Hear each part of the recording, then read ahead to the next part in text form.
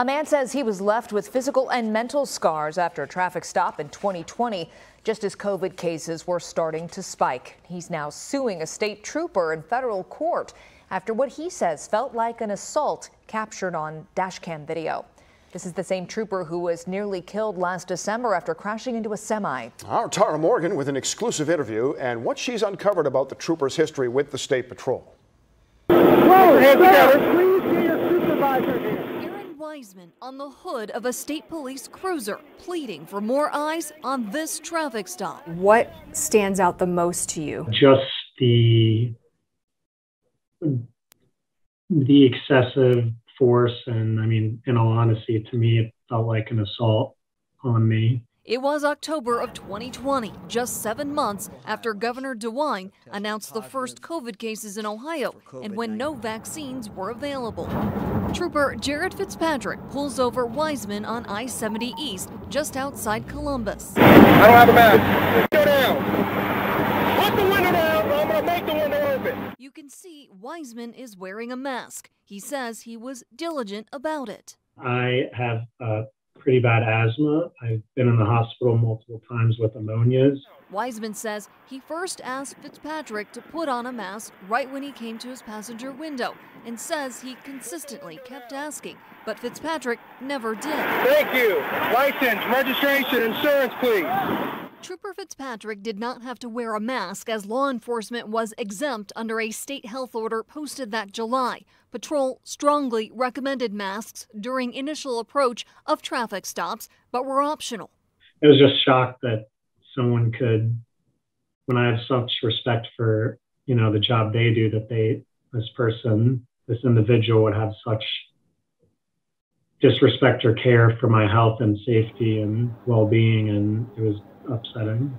Along with Trooper Dash and Batcam videos, ABC6 investigates obtained the administrative investigation of the stop by the Ohio Department of Public Safety, including Fitzpatrick's recorded interview with an investigator. When you were cuffing him, was there a lot of force involved when you put the cuffs on him? Anything? A lot of force, I would say no. At one point, when I went to place him in handcuffs, um, he naturally pulled away. I watched it once. I didn't couldn't really watch it much afterwards. Fitzpatrick stopped Weisman, he says, for violating the move over law when Weisman passed a fellow trooper in the right lane during a traffic stop. You can see as I drive by in the video that there is a car next to me. I had no I had no understanding of why I was being pulled over because I was not speeding. I was just on my way back from uh, work to go home. I was trying to get his information, and I couldn't get to the point of trying to explain to him because of his arguing about me wearing a mask. Put it down. Get out. Get out. He had everything. We weren't in communication, so I pulled my window up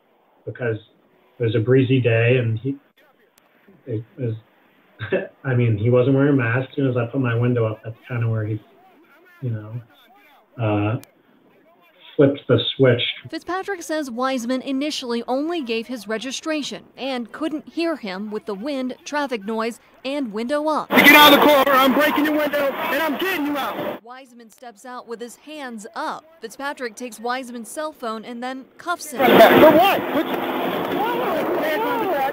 Whoa, hands together. Please get your supervisor here. Do anything? I asked you to get out. I asked you to get out numerous times. At least three times, Weisman expresses his fear of catching COVID. I don't want coronavirus, understand man. that. I understand that. But when I ask you to step out, you step out, period. The second trooper fixes Weisman's mask that slipped below his nose. He was actually great, and I think was part of the reason why.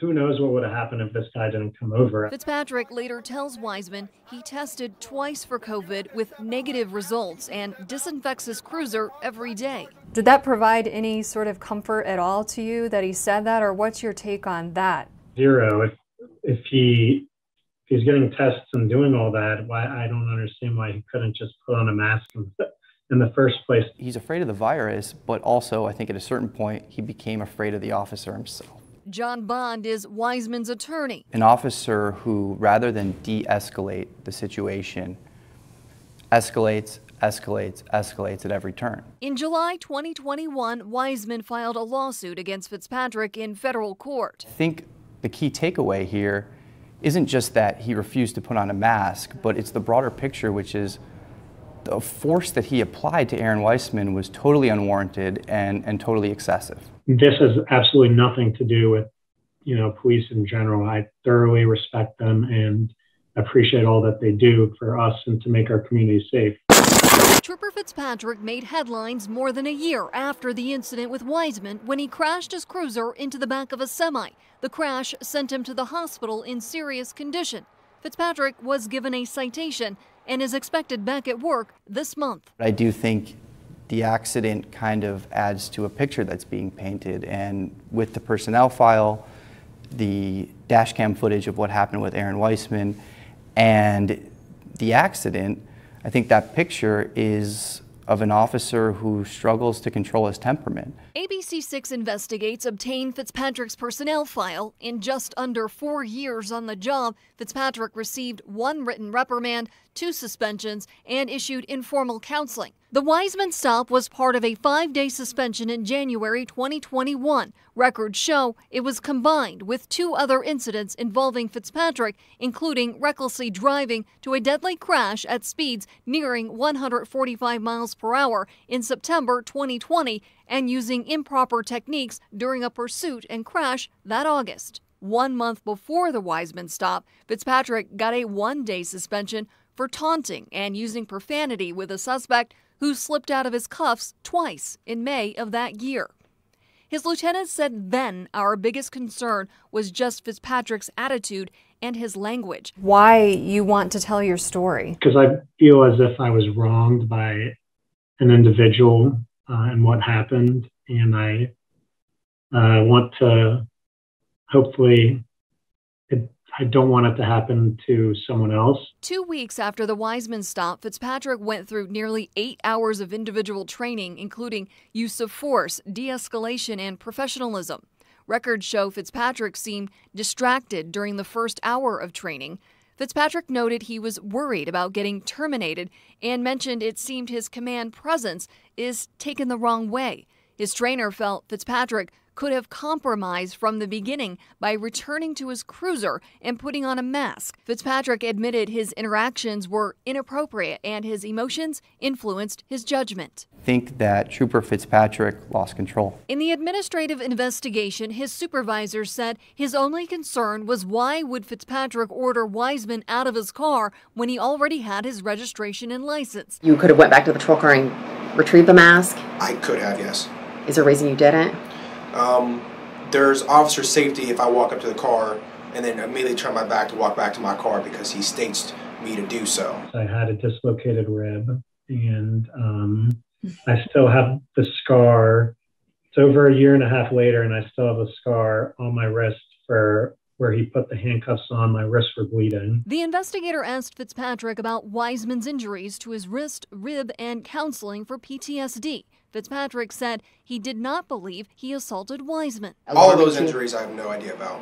Um, the cuffs weren't tight. The ticket Weisman got was later dismissed. He's now in therapy, he says, working through the traumatic experience. In the midst of the pandemic, I was feel proud for sticking up for myself to protect my health. So I, I don't think, uh, you know, beat myself up on what could have been done differently.